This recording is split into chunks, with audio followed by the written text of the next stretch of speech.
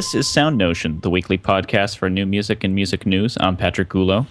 I'm David McDonald. I'm Nate Blayton. And this week we're very happy to have the two members of the bass clarinet duo Sqwonk, Jeff Anderle and Jonathan Russell. Guys, thanks for joining us this week. Thanks, Thanks so much us. for having us. And uh, one's we're in Europe and Alaska too, so I think putting this together is kind of an amazing feat for us on Sound Notion. Yeah, it's pretty good. I think Skype is the official sponsor of this program today. Yeah, we absolutely could not do any of the things that we do without it. So we thank them for giving us a, a cool product. But um, so you guys, you, tell us a little bit about how Sqwonk got started, um, because I understand that you don't really live in the same place anymore, right? That you that you started Sqwonk from. Yeah, Sqwonk started um, in San Francisco. Um, I did a master's degree in composition at San Francisco Conservatory. I finished in 2003, and then I was around teaching music theory there, and Jeff was doing his master's in clarinet performance. And I just heard him practicing in a practice room one day, playing this um, piece by Evan Ziporyn called Tsmindao Ghmerto, a very difficult solo bass clarinet piece, which you generally don't expect to hear coming from a conservatory practice room. So I just wanted to see um, see what was going on, and so you hung outside Jeff. the room for a long time, basically. yeah, yeah. well, and I, I had heard about this sort of mysterious composer who also played bass clarinet that was sort of around the building somewhere, and so I was He had a keeping my eyes open. Yeah. and So- um, Sorry. yeah, go ahead, John. So anyway, so uh, so I introduced myself, and then we decided to start playing together some, and then we did a recital together a few months later. Whereas mostly so- we each did solo pieces, and then we combined on a couple things. We had a friend Ben Gribble write a new piece for us, and we did the bass clarinet parts to um, New York Counterpoint a Steve Reich piece, and and we did this sort of phased version of the Bach cello suite. Um, anyway, it was, it was really fun. We really liked playing together, and so then Nice. basically a few months after that, Sqwonk was officially born. That was in So- 2005, I think. Yeah.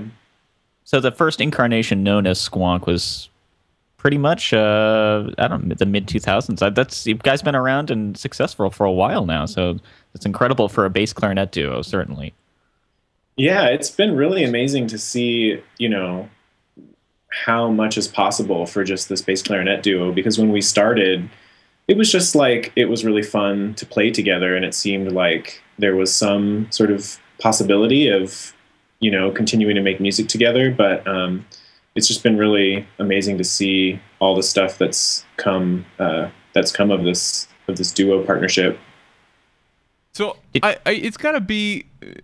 Uh, a, an, a, I'm wondering why a bass clarinet duo was the thing that that was what, as opposed to some larger group that included the two of you in some other capacity. uh, It, it seems like that's really kind of going out on uh, a repertoire limb when you started. Yeah. Was that something that you discussed when you were putting the group together the first time? Well, we didn't really discuss it because we were, I mean, like, I wish we had had that kind of a conversation at the beginning because we were just kind of like, well, this is really fun. Why don't we, you know, let's make a band out of this duo thing that we're doing. Um, and yeah, there definitely was zero pieces for bass clarinet duo when we started. So a lot of it um, came from our friend, and John wrote and arranged a bunch of things. And since uh, I was still a student and John was recently not a student, we had a lot of composer friends who would write us stuff for free. Um, but you know, a lot of the reason that we got together was just the instant we started playing together. It was just so easy to to play with each other. I mean, we you know our sort of rhythm and intonation and all these sort of things just kind of came together in a really fast way that um, I know for me like hadn't really happened with other chamber groups. So it seemed, you know, why would we add other elements to that when it works really well with just the two of us?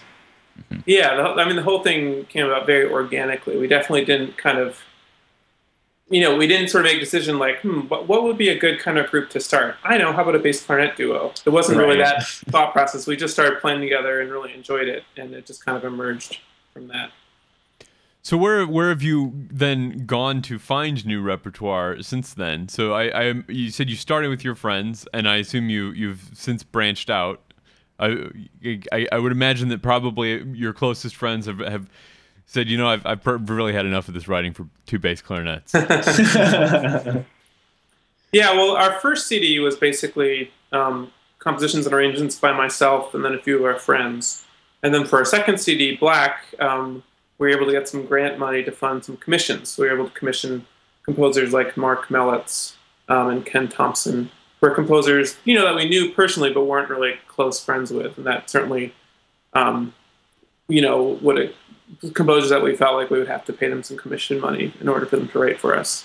Um, so that's kind of how that happened.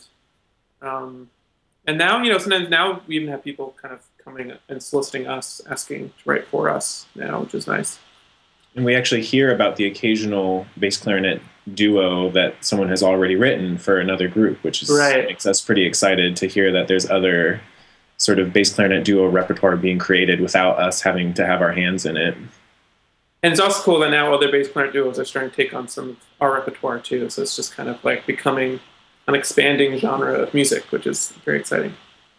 Uh, what is the the reaction like when you contact a composer and say, hey, "We'd like you to write a piece for two bass clarinets"? Is that something that they are usually very excited about, or is that is that something that they, they have to stop and think, "What do I do with with?" Well, that? I think, yeah, I think usually the initial response is like, "Oh my god, that sounds amazing," and they get really sort of initially excited, um, just because you know, composers generally like bass clarinet because there's a lot you can do with it. Right. Um, but then it's interesting because it's two single voice instruments. Um, a lot of composers sort of get stuck, maybe like a third of the way in, with like, well, I can't really do harmony.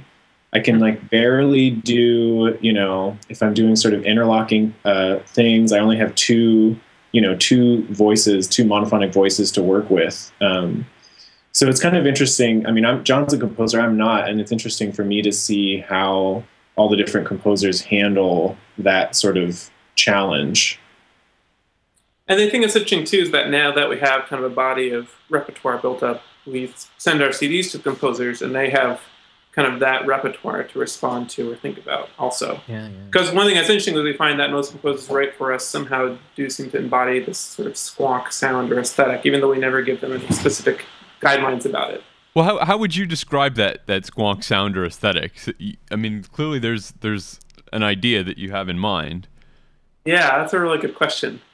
Um, Jeff, do you have any thoughts on that? Well, I guess the, a good place to start would be like sort of people always ask us how we came up with the name Sqwonk, um, which you know anyone that's made a, a band before knows that like naming the band is probably the hardest part of the entire process. Um, so we had like a brainstorming session where we wrote all these different words on a board, which was like sqwonk. No, well, sqwonk was the final one, but we wrote squeak and honk and quack and sort of chirp and squawk. So they were all like onomatopoetic. Exactly. And then yeah. it was just sort of like mush them all together and we're like, sqwonk, there we go. Um, so I think it's sort of um, basically, you know, new classical music with onomatopoeia in it or something, you know, with. well, it, you know, it tends to be kind of rhythmically driving and intense, but also this kind of sort of playful or fun spirit to a lot of it, also. Yeah. I like to say it's sort of like cute and ferocious at the same time. That's good. I like that. so would you say that you're actually being inundated with with people who want to write for this kind of ensemble now? I can imagine, you know, when you're first starting out, of course, your arrangements um, and your own compositions kind of dominated your rep. But I mean, have you really noticed a dramatic increase with the other ensembles and with composers who are just now open to writing this new ensemble? Well, yeah, because going from like zero to five is like a 500% increase, right? yeah, I, th- I, think inundated might be a strong term, but I think it definitely is increasing interest. Yeah. Yeah, I mean, after, you know, five years of zero, you know, like nothing out there. And now when we go, um, you know, I just met a composer the other day. It was like, oh, oh, I have a bass clarinet duo that I wrote, you know, and it's like it is becoming sort of a thing that people are trying, which I don't know if that's all due to us, and maybe it's just, you know, there are well, other sort of people talking about that, but. Well, perhaps it is. I mean, um, I, have seen, seen from your website you do a fair number of master classes as well. Um, mm-hmm. Do you often have composers visiting these master classes in addition to clarinetists? Yeah, we generally do. Um, we actually, when we visit universities, we like to do a clarinet and a composition master class both. Um, oh, so we'll have one for the clarinetists talking about bass clarinet and extended techniques and um, you know sound production and all that stuff, and then we'll go next door and talk to all the composition students about how to actually write all that stuff down and how to work with an ensemble and um, so they're definitely yeah composers are um, aware of us when we go to universities and we do have some pieces that have actually come about through you know assignments to write for us for this kind of workshop that's yeah yeah awesome and if you want sqwonk at your university we'll be there Go to sqwonk.com. Exactly. Fill out the form. for all your masterclass needs. Right. We're there. We're there ad. for you. we right, made right. a little, uh, normally, normally people pay big bucks for that. By the way. Yeah. yeah. I'm just saying. I'm just saying. Here, here on Sound Notion TV, it's right. all big money. I know, right? um, so what? How how is it working together with you guys so far apart? How often do you get to rehearse nowadays? Well, so just to so I was out in San Francisco until 2009. So we had a good, you know, four or five years at the beginning to where we were rehearsing at least once a week, sometimes more than that, to really kind of get all our core rep together. Um, so then I moved to the East Coast, and I was PhD at Princeton, which I'm still doing. Now I just moved to London. Um, which makes things certainly makes things more complicated. But I do end up coming back to the Bay Area pretty frequently for various projects, including Sqwonk. So we rehearse then, and um, you know we also are touring various places, and we'll throw in a few rehearsals when we tour. So um, I think it was really important for us to have that core period where we were, we were in the same place to really develop our sound and, and learn our core repertoire. But now we have that under our belt, you know, we're able to kind of learn stuff more quickly or sort of refresh stuff um, with without the weekly practice time. Right. Yeah, and it's interesting because you know the the sort of model for a lot of um, new music groups is to do a lot of touring and a lot of residencies, um, and you know, a sort of even a another contemporary music group might only get together a week before a concert anyway. So in a lot of in a lot of ways, it's not that different from some of the other groups that I'm in that are all local. Um, and certainly, whenever we go on tour, that you know we'll meet there beforehand and have some time together to to get things um, into good shape for what we're doing. Mm-hmm. Yeah, we you have know, another. Go ahead. Sorry, go ahead. No, absolutely. Go ahead. I was just going to say, I mean, another way that we're a little bit different from a lot of new music groups is that I think most new music groups kind of learn new material for each concert. You know, each concert is its own program, and then they learn a new program for another concert. Um, you know, in a certain way, we're almost more like a rock band or something that we kind of have our greatest hits, which we come back to again and again. And what's nice about that is it feels like we really have this kind of core to our sound our repertoire and just our relationship with some of these pieces. You know, we've been playing for five or six years. It just, you know, you really develop a very sort of powerful and deep rapport with the music when you spend that much time with it. Yeah, I think that probably yeah. is has a lot to do with the the um, u- uniqueness of the of the medium, right? There's not there's not right. a, a, ton of rep there. We we have a lot of friends. Uh, the the three of us went to graduate school together at Michigan State, and we have some very good friends that are saxophonists, and they played in saxophone quartets in in graduate school.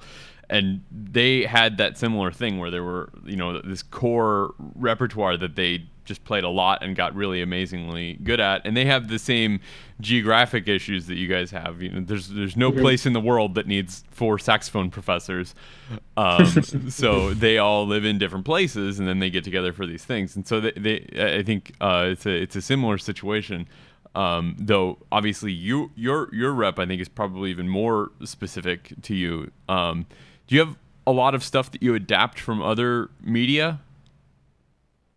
Not that much. We have, um, you know, I, ra- I arranged the Bach toccata and Fugue in D minor organ piece for us. That's Wow. that's the main arrangement we do. In the early days, we did a lot more arrangements. We did some more um, like two-part Bach inventions, and we we did the sixth movement of the Messiaen Quartet for the End of Time once or twice. Um, some of them some of them worked better than others. um, but uh, is there anything else we've adapted, Jeff? I don't think so. Um, Yeah. I keep telling John to do the Bach Chaconne. Yeah. No, an arrangement for that. I would like to hear it. To be honest with you. Me too. Yeah. yeah. yeah. Well, I think it's an interesting challenge that, to to put to put yourself to, but at the same time, I also think the way you're doing it, where you're commissioning completely new works, is also th- the the at least to me the the the really more interesting thing to do. Um, though there are certainly some circumstances like the Bach examples where you really can. Um, you know give it something new and not just kind of be this imitation of of uh, another work but uh, bring something new to it add to the you know collective world of bach interpretations in a way rather than kind of imitating this other bach thing Yeah, there's Yeah. something about about that specific Bach piece which really felt like it was it fit with the Sqwonk aesthetic for some reason. yeah Um, and that's what that's what inspired me to arrange it in the first place. But I don't think most classical pieces would have that effect. Right. It's almost like like setting a text. Like you're you're somehow giving more to a poem by by setting it. Uh, and that's you know the the way you choose the the poem is the one that you can add to, and you, you Yeah. choose Bach because you have a, a a perspective to to show on Bach other than just you know this is the way we can do it. Right. Yeah. That's very cool. Yeah, it sounds like you've done a lot of different kinds of things, and building this body of work is a wonderful thing. Is have there? can either of you think of, or do you have any other dream projects, or like some particular thing with clarinet that you haven't put into a piece yet, John, or that you're hoping that somebody might put into a piece if, to write for you, or something? Or John has a dream. What's my dream? really? Your bass clarinet uh, opera Oh. dream. Oh, that Oh, sounds yeah. awesome. Let's hear it. Let's hear this dream. so I, actually, I did this very sort of short, ins- sort of instrumental opera, just like an eight-minute thing at, at Princeton a couple years ago, where it's, ba- it was three musicians who were also like the actors on stage interacting with each other. and sort of told this little love triangle story. So anyway, I have this dream of making like a much larger scale version of that, and one aspect would be this herd of like 50 bass clarinet beasts. And I picture like the bass clarinet actually being their trunk, and they'd be you know dressed as these beasts. And it would just be this kind of like groaning choir of 50 bass clarinets. So is there a text? No text. Okay. All right. No text. It's all Interesting. Well, that But sounds kind really of yeah, that's, that's one dream. well. I also have a much more realizable dream, perhaps, of, of starting like a like a smaller, like a bass clarinet nonet group. I wrote one piece for bass clarinet nonet. I really liked that number of bass clarinets, so that's something I think about. But it's pretty hard to find um, that many bass clarinets in one place. Yeah, just Um, just the but- instruments, not to mention people that know how to play them. Yeah, exactly. Yeah. Especially in- in reserved terms for of- conferences. Right. Yeah.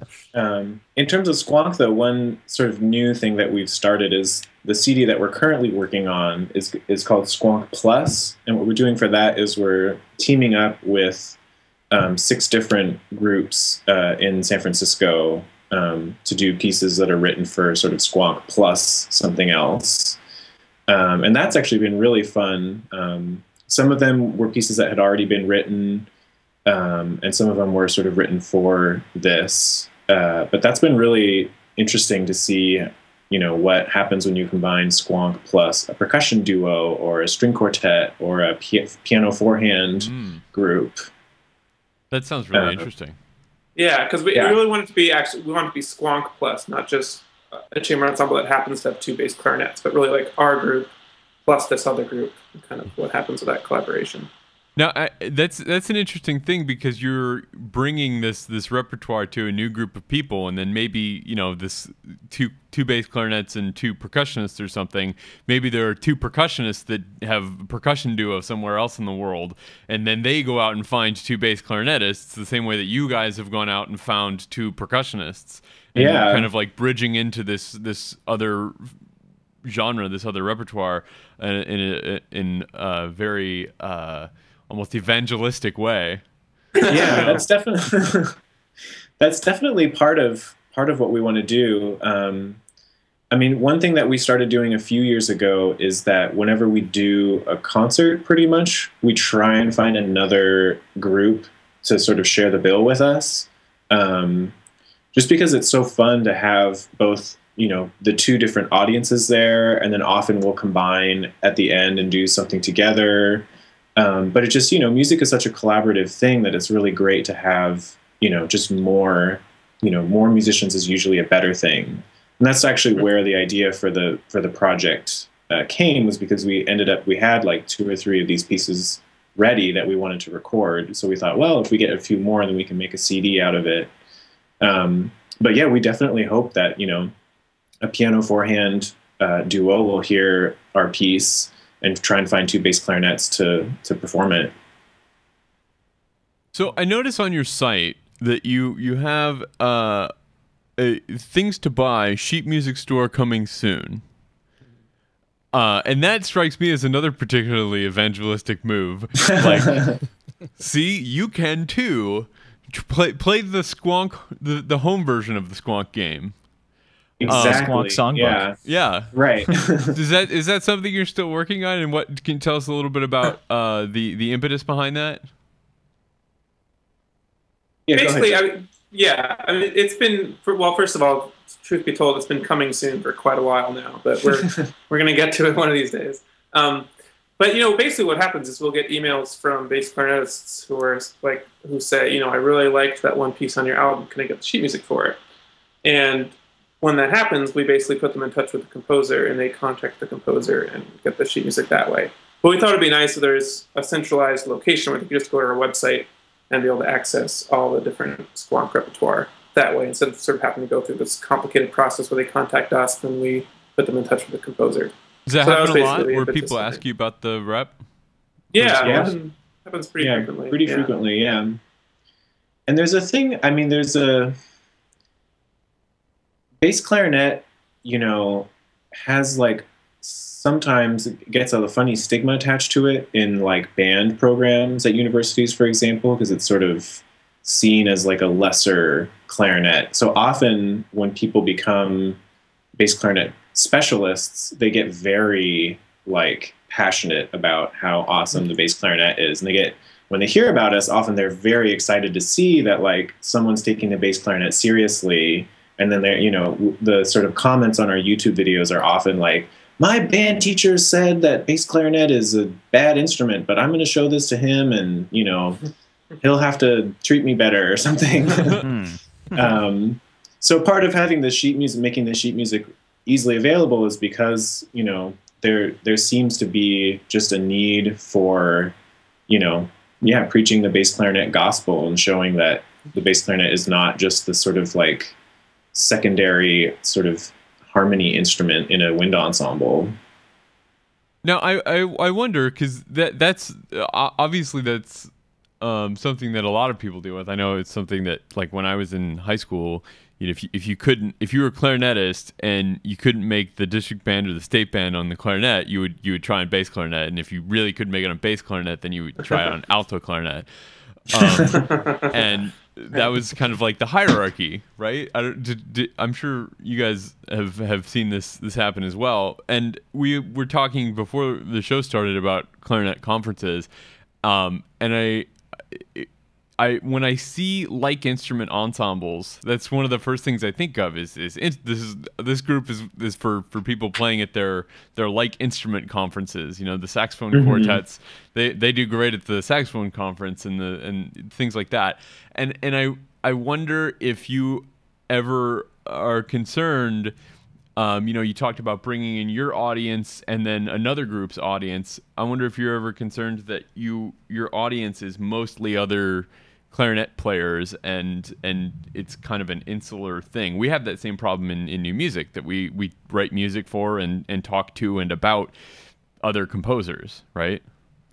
Is that something you yeah, think about? Well, we do because I mean, first I'll say, you know, we are usually like a pretty big hit at the clarinet conferences. I mean, um, because you know it's just an unusual thing uh, to see two bass clarinets. Um, and I don't think there's anything wrong with being a hit in the clarinet world. You know what I mean? That's Of course not. certainly not a bad thing. Um, but I think the thing that we try to do with Sqwonk is that we've always been interested in in playing music that is like really fun to listen to for anybody, not just sort of a new music aficionado, um, and sort of having that sort of like really visceral, kind of exciting um, feeling when when we're playing. Um, you know, I think that the idea is to make it available for anyone. Like anyone would find something that they like about it, and then someone who's really into new music or really a like clarinet geek will just sort of get even more excited about hearing us. And I have to say that as a composer, this connection to this clarinet community has been, you know, hugely beneficial for me. Um, Uh, can you all hear me? Oh, we just It looks lost you. Yeah. I think you were just about to tell us the Oh. benefits that you uh, gotten. Can you can you hear me now? yeah, we got you now. Yeah, Okay, great. Um, I was just saying that as a composer, having this connection to the clarinet community is actually really beneficial because it's this very appreciative audience that you're able to to reach, and people who will buy your sheet music and, and stuff. You know, which is is often I've had much more success, for example, selling sheet music of my bass clarinet compositions than of my more sort of standard new music ensemble type of stuff. So it can actually be a real benefit to tie into some kind of community like that Yeah. beyond the new music community. but it's interesting because we kind of did it backwards in a way because our first audience was like the San Francisco Bay Area just music goers. I mean, those were for years and years. We just played around the Bay Area. We did a few like New York shows, and that was just sort of general music audiences. And then it wasn't until I think our first time we went to the conference was like 2010 as Sqwonk. Um, and so, you know, I feel like we sort of built up the sort of mass market appeal first, and then we went to the the conferences, um, and I'm, I think that probably helped. Um, you know, helped with how successful we've been at the conferences that we're sort of appealing to to more than just clarinetists. It's not something that only clarinetists will enjoy. This this kind of addresses a, a question we actually got from the chat room. JD Cuevas uh, was asking how this affected your compositions, John. I and it sounds like inside and outside of the group of, of having this duo. How yeah, has it's it been- affected your It's writing? It's had a huge effect, I would say. Um, you know, first of all, just my performing on bass clarinet has had a big effect on my compositions because, Mm-hmm. you know, composing through playing it's just it's a very natural, very visceral way to write music, and so that's definitely had an impact. And somehow the kind of music I end up writing when I'm working with bass clarinets tends to be just this very kind of direct, very visceral, very fun, very groovy kind of music, which I wasn't really accessing before. Um, before I was accessing it from a bass clarinet. And it's interesting also now I find when I write, even for larger ensembles that aren't specifically sqwonk related, I still use some of the sort of sqwonky techniques sometimes. Nice. Um, like I wrote a couple of years ago, I wrote a piece for a large mixed chamber ensemble, which included, among other things, two bass clarinets. The two bass clarinets Surprise, are always surprise! chugging along there in parallel fifths and doing very sqwonky stuff, but it's in the context of this much larger chamber ensemble.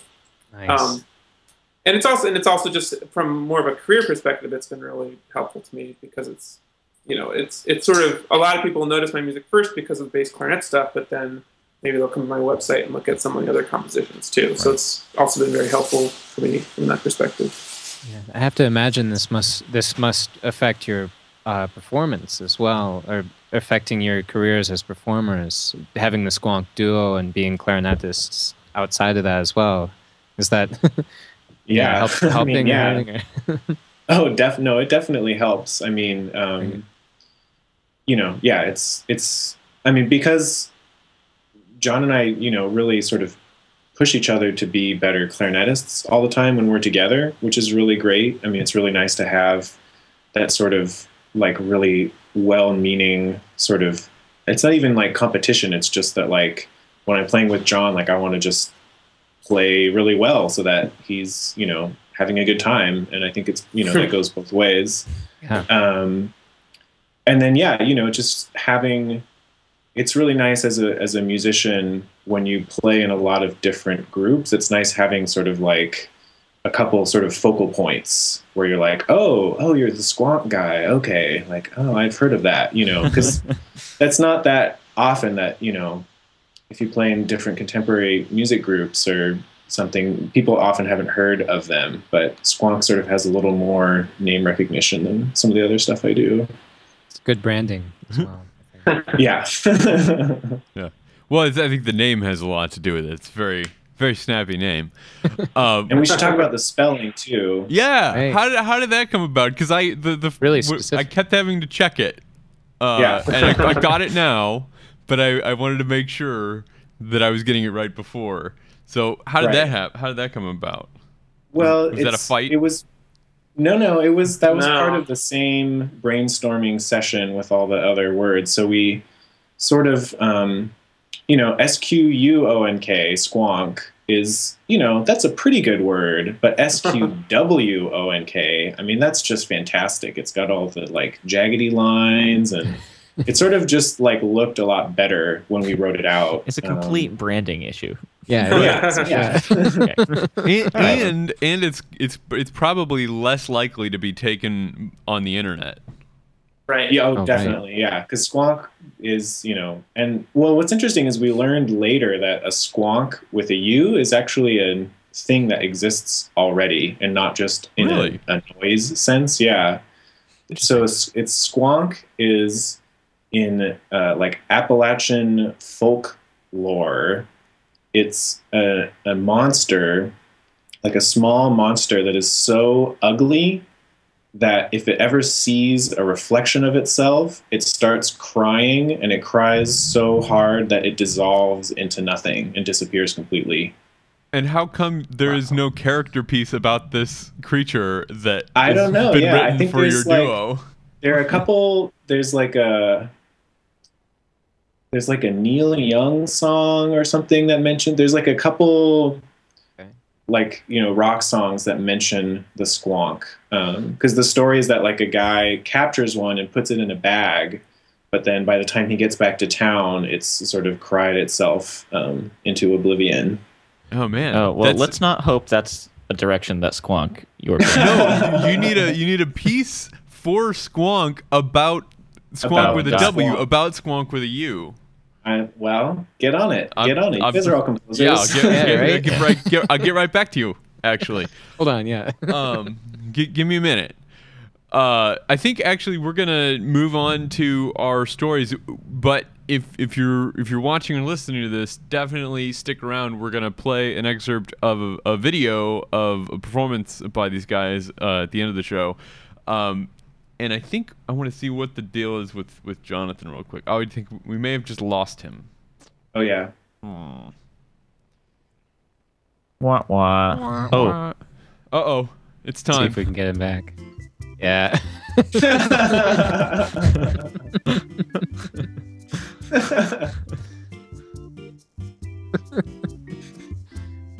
One of the best videos. See, I don't even like to edit the show if this happens, just because I like the. I usually leave at least part of it in. Yeah, yeah. You got to leave some of that. this is an original composition by Dave McDonald as well. The music you're hearing. Contrafact of Joe so good. Hello. Hello. Hi. Hello. Hi. Sorry about that. No problem. No, right? Get that video on getting there. Hold on. See, this is what we can hear you. We just need your video. Yes.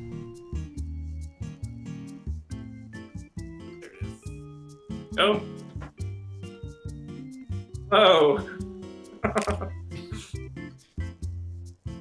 don't quite have it yet. Can You see me now? No. Here oh, you, now I do. Yeah. All right. Now I got you. And thus ends the uh, technical difficulties card. we have more technical difficulties? I mean, it's a cat in a shark suit riding a Roomba chasing a duckling. It's basically there's no reason we shouldn't try to have technical difficulties every week. Well, here's the thing: if there was gonna be a music video to go with like any Sqwonk piece, that would be the video that would go with pretty much like any piece that we play. Yeah, you should do that. Yeah. You should you should grab the video and just play it in the background behind For you. like for- five different pieces that Yeah. that- yeah. Yeah, oh man, it should just be all like a whole playlist of, of cat videos like that. No no Right. no audio, just just the video, and then you stand in front of it and play Sqwonk music. it would be a little data, and I think it'd Yeah. be pretty cool. Um, so you can listen to Sqwonk at the end of the show today, but uh, if you can't wait to hear any new music, you could go to Pandora right now and and listen to, to, to just about anything. And if you do that, you should check out some new uh, channels that they have. One of the problems that we in classical music have had for uh, since we started trying to distribute music on the internet is that it doesn't really work the same way as popular music. Um, and we complain about this all the time. We've talked on the show a bunch of times before about the problems with Pandora and Spotify and iTunes and Amazon, for that matter, not giving us the, the right metadata uh, and telling us who the composer is and the performer is, and it's it's it's it's a mess. There's there's just more more data that we want than these systems are set up to give because they're set up for you know telling you the the name of the song and the band that's playing it, and that's all you need to know. Um, so Pandora is trying to solve this. We we talked a month ago or so about uh, Rhapsody starting to offer or transitioning to offering more information, a little bit more detailed uh, metadata for their songs. But Pandora is uh, now going to be have they're they're having some new Pandora radio stations and notably they will have a station that plays whole works instead of just individual quote unquote songs whereas those songs are I, if you're listening you're missing my air quotes. Uh, but the songs are you know movements of concerti and symphonies and sonatas and things that don't make sense to be broken up or really could be like something that's attacca and stops in the middle of a thing. You know, it could be like an opera aria or something where there's not even like a break and it just or like trying switches to to the listen next thing. to trying to listen to the Rite of Spring or something, where like some of the Right. movements are like a minute long. Yeah. Right. Yeah. Well, that's why there's so many recordings of Rite of Spring that have like no tracking or two tracks or something, and they're each like 20 minutes long instead of those like 30 seconds, a minute and a half thing. That would be really frustrating to me, So is this new station exclusively going to play full works, or That's are they also that's the keeping the, option of playing? So I think this is not uh, a change to an existing station, but additional stations that they're adding. oh, okay. If I if I understand this correctly, So that Um, means there will be less works on the station. there will be fewer works on the station. Perhaps. Fewer, fewer. I mean, it's not Lesser it's not- works. it, it- it is uh, it is countable. is do you guys? Does anybody? I should say, does anybody actually use Pandora to listen to music? I do not actually. I haven't used it to listen to classical music, but I've, Yeah. I've got Uh, a I know- salsa station, I've got a book station, I've got different things like that. All right. Yeah. I've I used it very occasionally, but not regularly.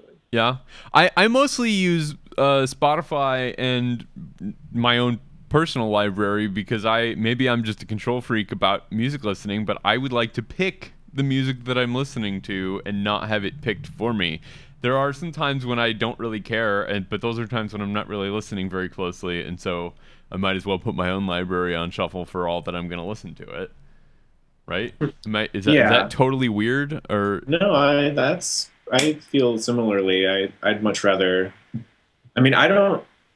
Bizarre. I mean, I feel like I play so much music during the day that I don't actually listen to that much music when I get home. So if I am going to listen to music, I want to have like total control over what it's going to be. Yeah, Yeah. absolutely. Like I I, do I think don't Pandora can be.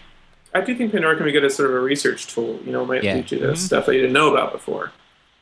Yeah, I That's exactly can what I use it for Is it is can be interesting like yeah, looking for new electronic music that I haven't heard before or something. Just like looking for a specific kind of texture, but not, yeah, not really knowing what exactly. Yeah, and if I'm in the like, if I'm looking for something specific, like like Jeff, I imagine you might be after a long day of playing stuff. But yeah, then sure.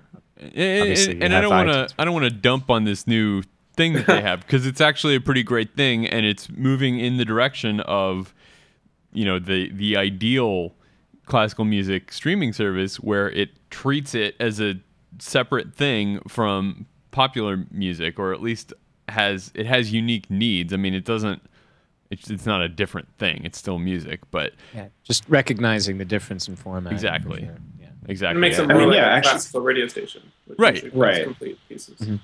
Um, I mean, this uh, actually would certainly m- make me sign up for Pandora. Like, much more likely to sign up for Pandora, knowing that there's a thing that plays whole pieces. Because why would I like get a radio station that's just going to play kind of easy listening, like slow movements from Right. unknown Baroque composers or whatever? Well, I think you'd get a lot of people listening to something like that. Uh, fortunately or unfortunately, I would go with unfortunately. Um, but you know, I, I, it's it's cool that they're trying new things, and I would love to see Spotify include some of this stuff and Google Play Music that I have recently started using do some more of this stuff. Uh, we'll we'll keep our eye out. Uh, another cool new web service. This is a company that just started, uh, just launched their their service called ScoreStreet. Um, there's a piece about it in uh, NewMusicBox this week, but they are kind of a self-publishing service, and they will let composers sign up and upload their scores. They have uh, some fees that they charge for uh, editing. If you want them to do any, I guess, uh, engraving or typesetting or anything like that for your scores, and they allow people to come, then come, performers can come and search their database of music and buy uh, printed to order copies or PDF downloads of the scores, and they will deal with the licensing issues. So they administer the they don't you don't give them the copyright, and as you might in a in, in other kinds of publishing deals, but they administer the copyright. So they'll do the licensing and, and all that kind of stuff for you if somebody wants to license your music. And they um, uh, do this all while giving you 100% net of the net that they get from those those fees. So they'll I mean they'll take out their expenses, but you get the thing the the charge is $30 a month to have the membership and have your stuff up. Um, Does that sound like anything any of you guys would use? I might. I definitely would look into it.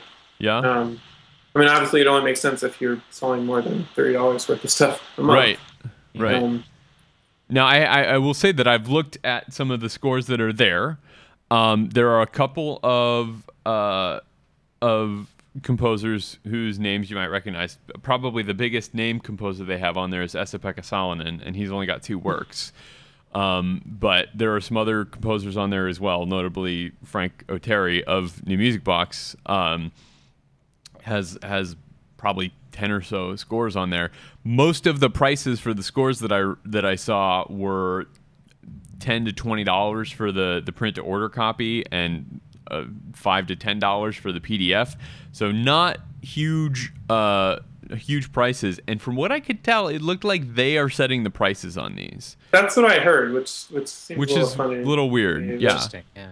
yeah. Hmm. So, so there is no. Uh, sorry, um, is there a, s- a sale versus rental model? They this? do have rentals. They do have rentals. That's a good question. They do have rentals, and they do uh, manage the uh, performance royalties for grand rights.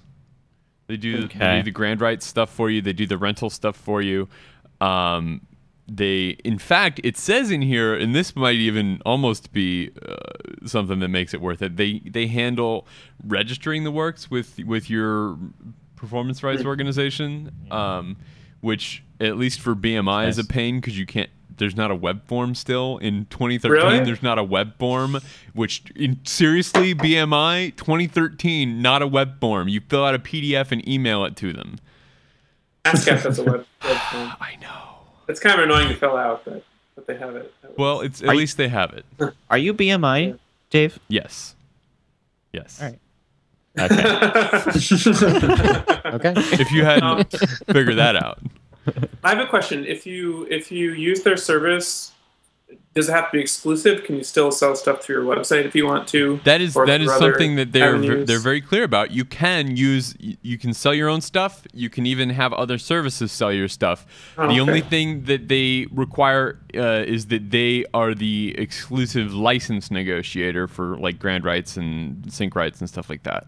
Um, but Well, then I, I don't understand. Composers who offer their music through ScoreStreet pay a monthly subscription fee, but retain full ownership of all their materials. Correct. And you can end your thing with them at any time. You can say um any any month you can say cut me off at the end of this payment period and then you get it, all of that stuff back. So that's one thing. Um I really I mean most of the time if somebody wants if somebody sends me an email and says hey can I have a PDF or your or can how do I get a copy of this score? I will most of the time just send them a PDF and say if you perform it, either send me the program to report or make sure that it gets reported by who's ever presenting the program, uh, and then I'll get probably more money from that performance than I would for what I could reasonably charge them for a PDF. Right? I mean, especially if they're going to do it more than once. I'm I'm happy to. If anybody's watching this and you want to score, send me an email. I'll send you a PDF. It'll be great. Are you, uh, as a composer, Dave? Are you, uh, oh, and um, Jeff and Jonathan too, and Nate? Are you, are you all okay with um, sending people PDFs and having them just keep them? No, I don't know. I'm- Never said no Well, before. yeah. I, I, I would I wouldn't imagine you would, but I mean, it's like, are you are you totally okay with just having a someone having a digital copy? You know, that's Forever. that's something that I couldn't figure out. I've, I've something I looked for on ScoreStreet, um, which has a perfectly functional web page. It's not like beautiful yet, but I hope they'll get there.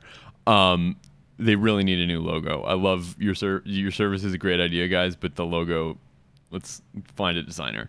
Um, but uh, the thing that I couldn't figure out was how the PDF thing worked. It didn't seem, as far as I could tell, they didn't mention anything about them being protected in any way, um, which is fine with me because I I think that that kind of those protections usually just are a pain in the butt to the people that are trying to use your thing legally the way that you intended for them to use it and I, I It's understand so easy to get around. I mean, And it's so- exactly. print it and make a PDF. Like any any yeah anybody that wants to you know get around your whatever protection you have on there can. And the people that don't that aren't sophisticated enough to know how are the ones that are hurt that are trying to use it normally.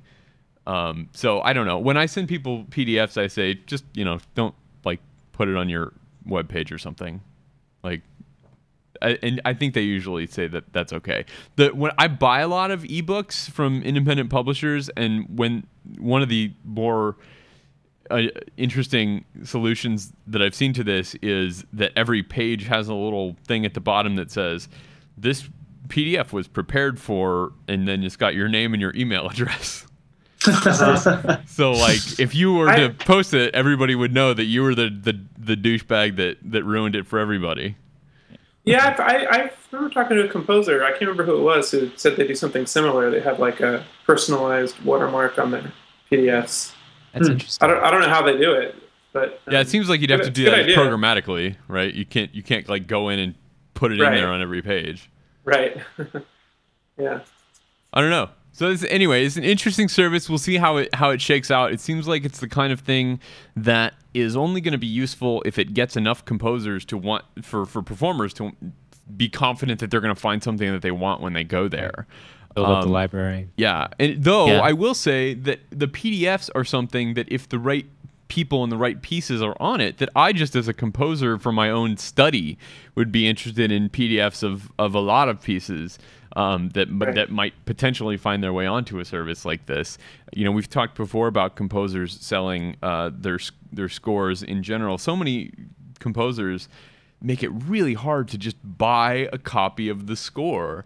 Uh, you know, you can go rent it if you're going to perform it, but if you just want to have it to like write in and study, that's really frustrating to, to find. And we we talked to, to Jen Higdon last year, and she sells study scores, like small scores of, of her stuff from her site. uh, and I, I, I wish more composers would do that. I say that, but I don't do that. So Yeah, I mean, exactly. point is, send me an email. I'll send you a PDF. If if if I didn't make that clear before. Um, speaking of Frank J. Oteri, he had a great piece this week about uh, uh, a a public sing that he took part in this week um, of Carmina Burana. And first of all, that sounds really interesting. I think it was he said it was at Symphony Space, and they had you know a professional orchestra there, and they had professionals sing singing the solo roles, but there's this you know there's no you know division between the audience and the performers and this kind of thing. Everybody shows up and they sing their Carmina Burana score. And uh, first of all, this sounds awesome, and I wish that I could have gone to something like that. Uh, but second of all, uh, he he wonders if there is a place for something like that in new music. If there's a a, a place for community amateur music making in new music, and I'm wondering if that's something any of you have ever thought about or explored. You know, I think it's tricky because you know this is done with the Messiah all the time too. Right, exactly. Sing it yourself, Messiahs.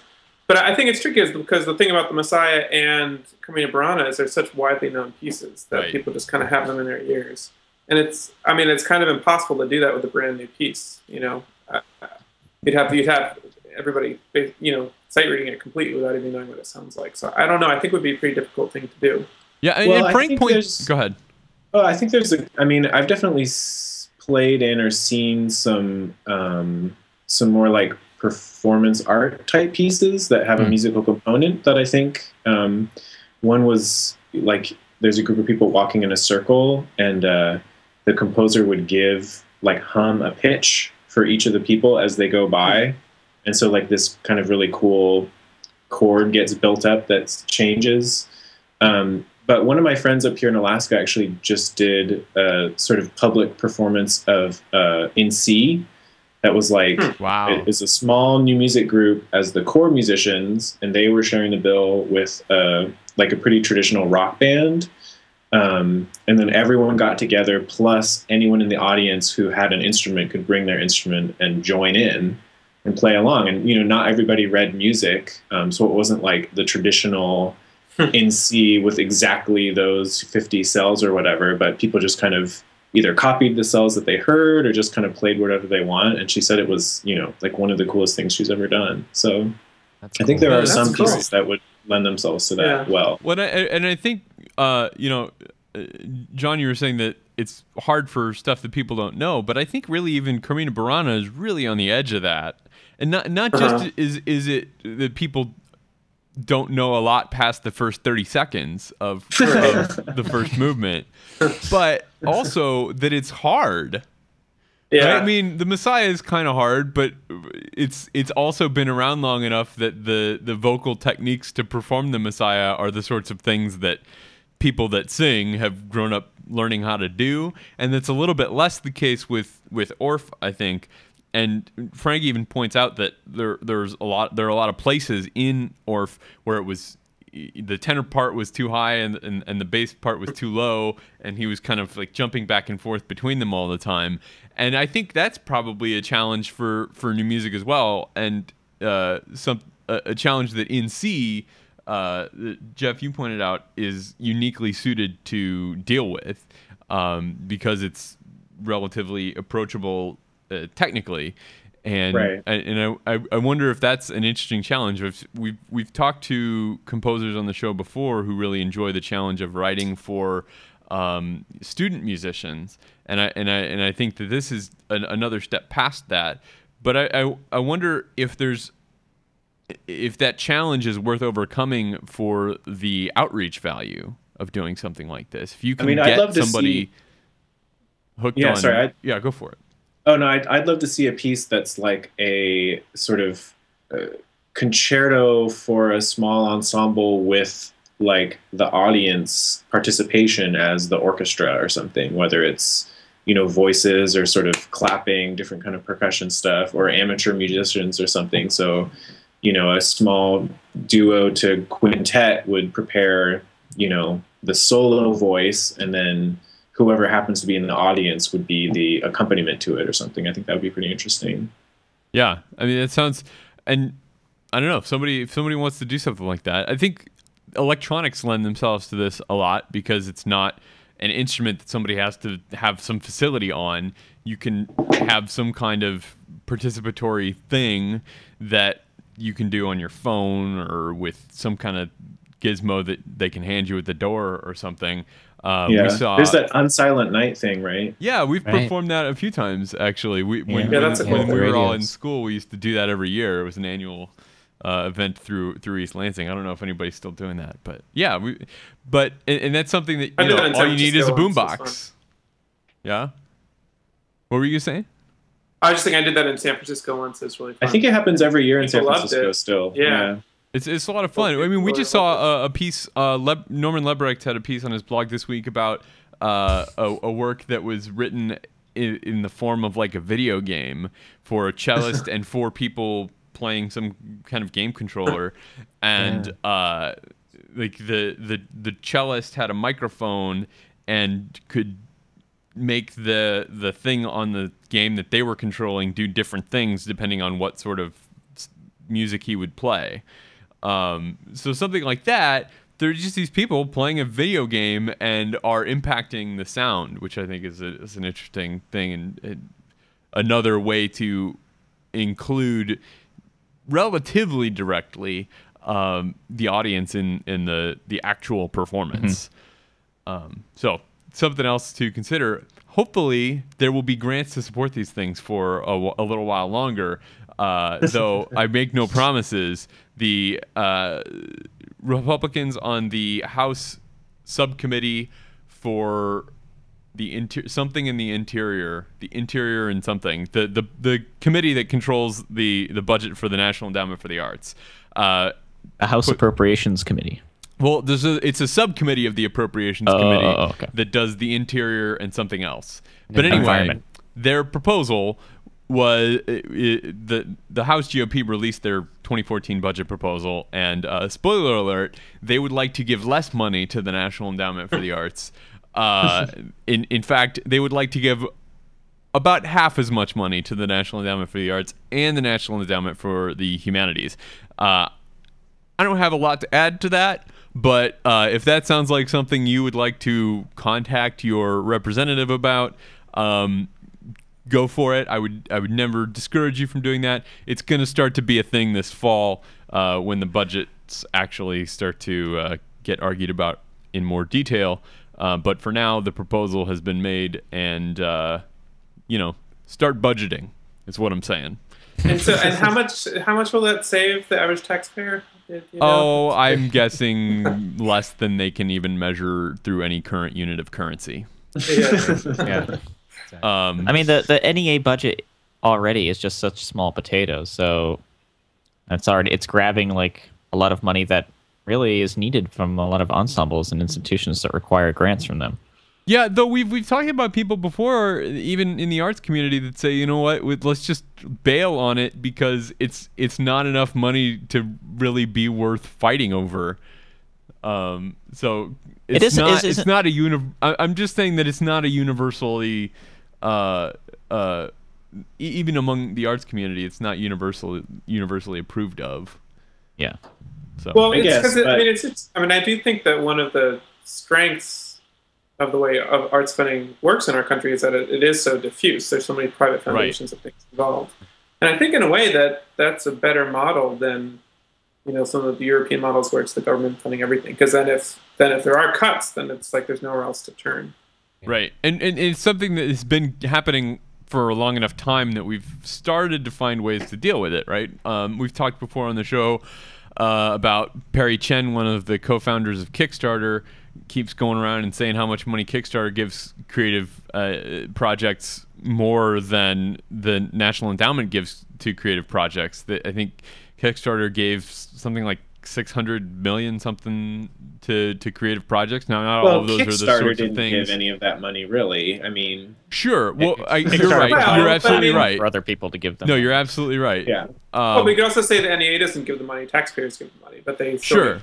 enable it, right? Sure, and and and a lot of the things that Kickstarter funds are you know watches and pens and books and and not not all of the sorts of things that the NEA would fund, but a lot of it is.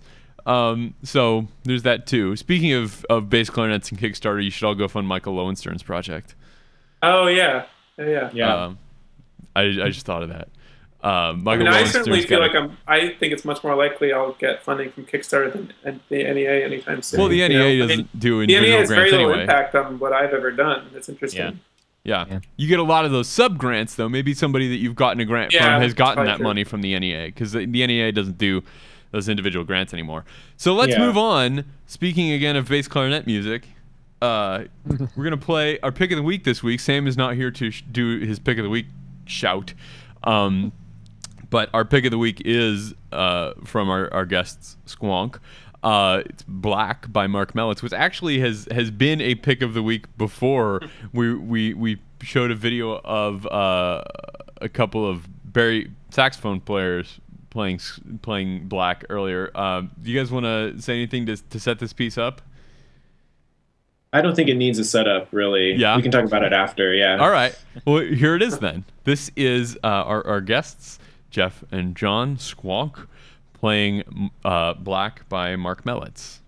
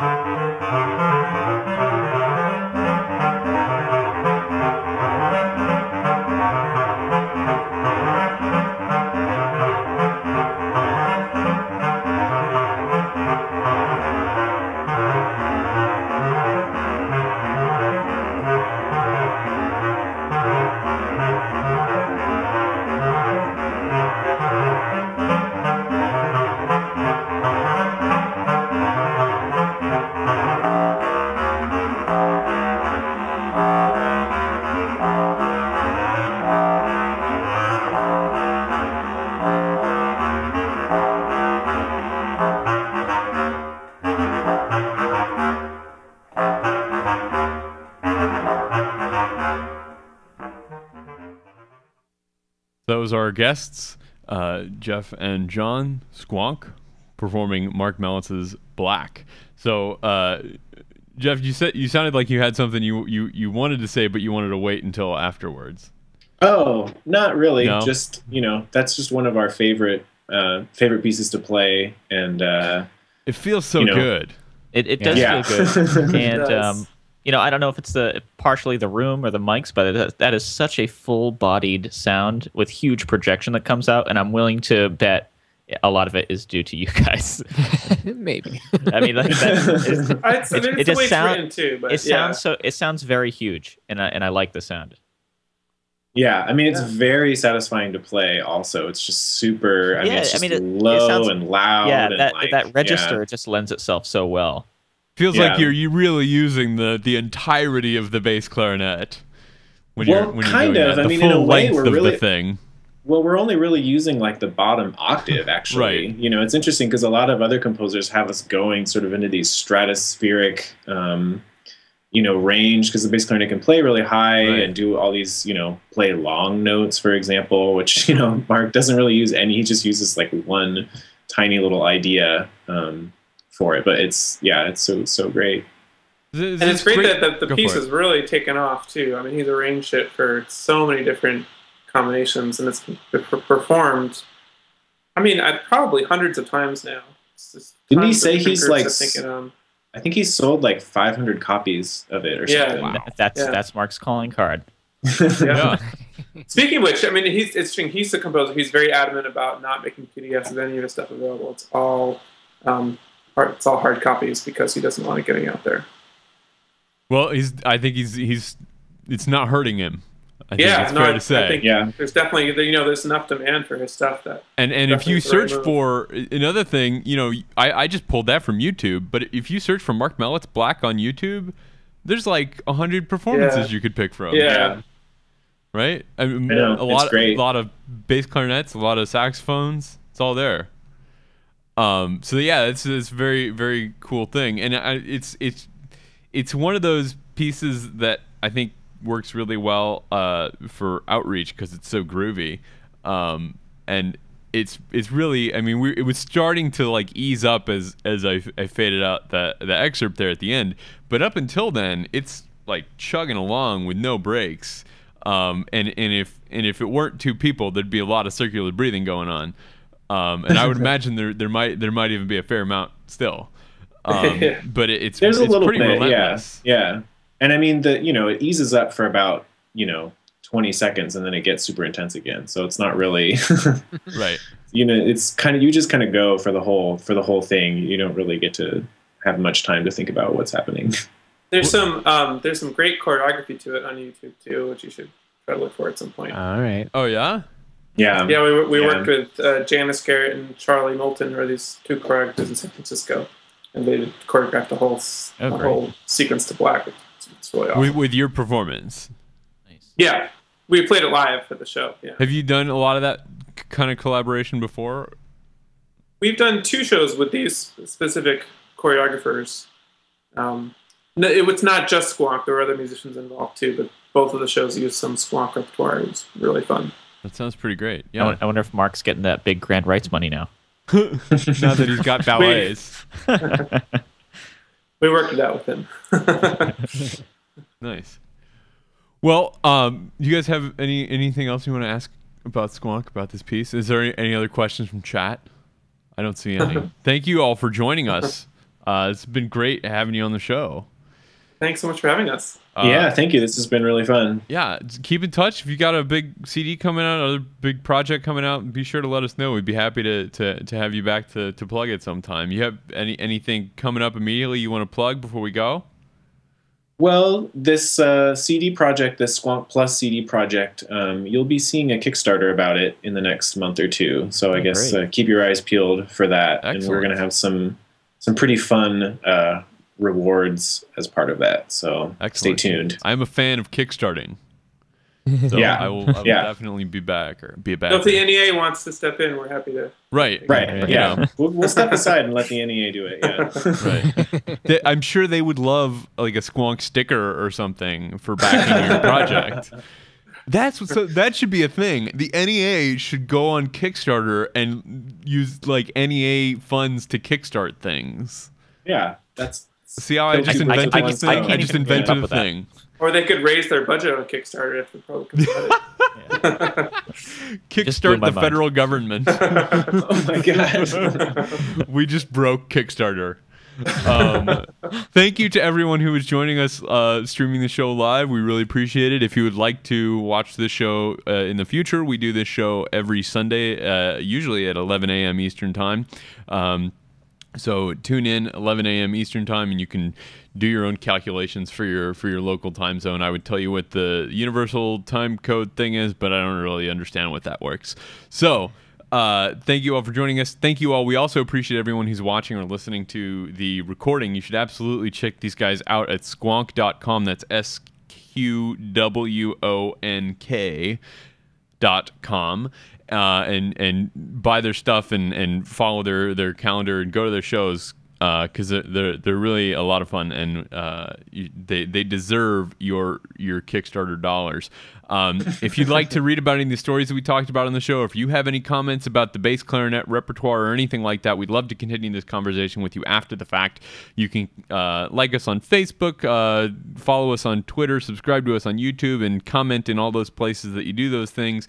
You can also find links to the stories that we talked about at soundnotion.tv slash SN. We'll have links to these guys, links to uh, all these stories in our show notes. Um, you can subscribe to this show and all our shows at soundnotion.tv in the iTunes store. If you'd like to support us, you can find those links on our site, soundnotion.tv slash SN as well. Sound Notion's introduction includes music by Patrick Gulo and video by Tyler Lepp. Thanks again for watching, and we'll see you back next week.